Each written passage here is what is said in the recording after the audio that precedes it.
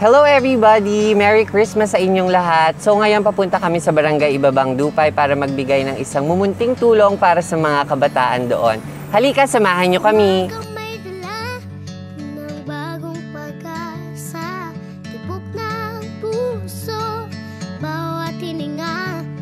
Kislap ng bituin Lamig ng hangin Sagot sa panalangin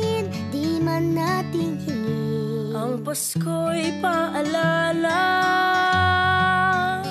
Na bawat isa'y pagpapala. Mula sa Kanya Na unang biyaya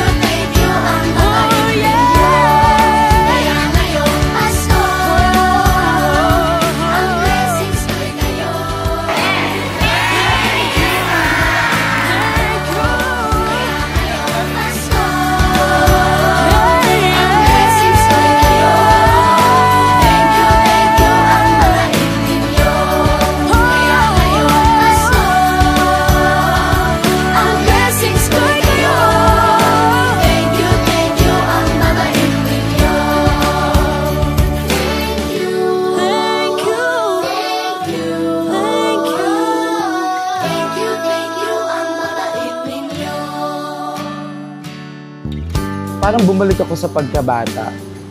Naramdaman ko kasi yung pagiging bata ulit. Habang tumutulong kami, hindi man ganun kalaki yung tinutulong namin sa mga bata.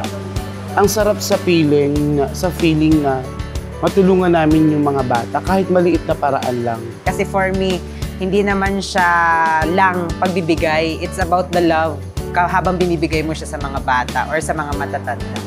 tulad namin, tulad ko ay naging part din kami ng kabataan at nafe-feel po namin na maganda at malaking tulong yung ganong paraan sa pagbibigay kahit malaki man o maliit. nilagay ni Lord sa heart ko yung ah, pagbibigay kung ano ang meron ako. At yun naman yung lagi kong prayer kay Lord na, Lord, patuloy mo kaming i-bless, patuloy mo akong i-bless para ah, yung blessing na ibibigay mo sa akin, hindi lang ako yung ah, mabibigyan, kundi talagang sa lahat din ng nangangailangan. Ang sarap sa pakiramdam ngayong Christmas na magbigay ng kasiyahan sa mga bata. hindi ko na-expect na maging part ng Care Foundation kasi bilang isang kabataan is full of happiness ngayong Christmas na ibibigay namin. Yung first na naramdaman ko nung nakita ko yung mga bata kanina na sobrang saya nila, naalala ko agad yung mga pamangkin ko kasi sa bahay po namin sobrang dami namin bata. So, do, dun pa lang, damang-dama ko na na parang hindi, para ko silang mga pamangkin, para ko silang mga kapatid dun sa mga saya na nakita ko sa mga mukha nila kanina. And bilang isang parte ng Care Foundation, nagpapasalamat ako kasi sa ganitong pagkakataon, dito na ilalabas namin yung talagang nararamdaman namin na gusto namin tumulong sa mga bata. Hindi lang naman sa mga bata, yung pagtulong namin. Para sa lahat yon. Ang Care Foundation kasi walang pinipili. Lahat binibigyan ng pagkakataon. Lahat may chance. Hanggat kaya naming tumulong, tutulong kami sa abot ng aming makakaya.